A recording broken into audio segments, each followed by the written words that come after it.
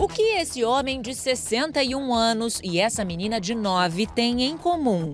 Eu não posso andar muito rápido, eu não posso subir escada, porque afeta o joelho, né? E o joelho, que é por onde tudo começou, ficou muito forte a dor, né? Eu tenho dor no joelho e às vezes de manhã eu tenho dificuldade para levantar. Os dois têm artrite reumatoide, uma das mais de 120 doenças reumáticas. O sintoma mais comum é a dor nas articulações. É uma dor que não necessariamente é só a dor articular.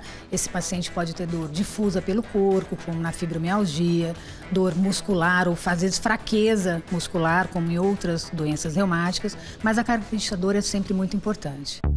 Nos dois casos, o problema de saúde foi genético. Eumodan ainda se lembra do sofrimento da mãe. E o que, que ela sentia? Dor. Começou nas mãos, depois passou para a coluna, que foi o pior. E o senhor consegue se lembrar bem dela reclamando dessas dores? A vida toda. Os primeiros sinais apareceram há dois anos. Começou pelo joelho esquerdo, né?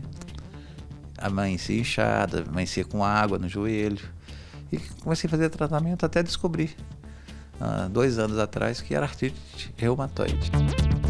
Giovana tinha um ano de idade quando a mãe dela percebeu que tinha alguma coisa errada. Eu achava que ela tinha dificuldade para ficar em pé, para engatinhar. E aí eu fui vendo que tinha alguma coisa errada e não tinha como eu saber ela me falar porque ela só tinha um aninho um ano e meio, né? E aí eu comecei a ficar pesquisando na internet. E inclusive aí eu fui procurando especialistas, né? Eu fui em cinco, fui em ortopedistas, fui em neurologistas. E no quinto médico foi a reumatologista. E aí foi quando ela descobriu. A mãe achou que a doença era muito grave para a filha tão nova. O tempo todo monitorando, fazendo exames medicamento não pode faltar. De acordo com a Sociedade Brasileira de Reumatologia, pelo menos 10% da população do Brasil tem alguma doença reumática. A mais comum é a osteoartrite, mais conhecida como artrose, que representa quase 40% das consultas médicas.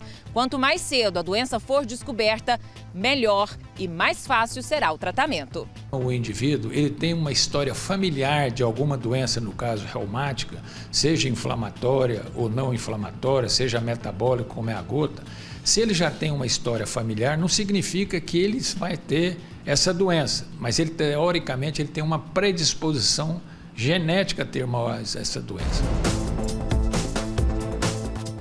O avanço nos estudos sobre as doenças reumáticas trouxe melhores medicamentos para os pacientes. Houve uma evolução muito grande no arsenal terapêutico na, na nossa especialidade nas últimas duas, três décadas. Antigamente, como se falava em reumatismo, se imaginava corticoide e anti-inflamatórios. Né? O advento da, da ciência foi tão grande que hoje você consegue determinar uma célula que estaria sendo uma das causas é, do processo inflamatório, apesar do nosso sistema imune ser muito complexo.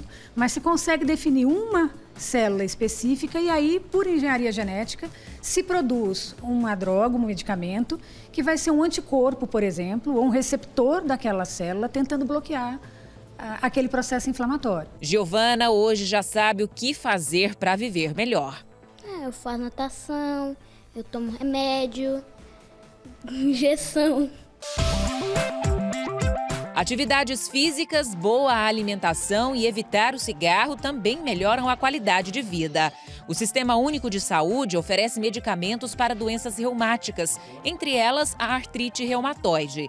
Esses medicamentos têm papel importante na vida dos pacientes. Acho que é a soma do, de todos os, os medicamentos que melhora né, o dia a dia. Uma injeção que é de última geração, ela ela, eu aplico é, duas vezes por semana nela. E, e pego um outro medicamento não, não tão caro, mas é, é comprimido, simples. E na farmácia eu compro, eu, eu tenho que comprar é, anti-inflamatório, ela toma anti-inflamatórios, é para o resto da vida, né?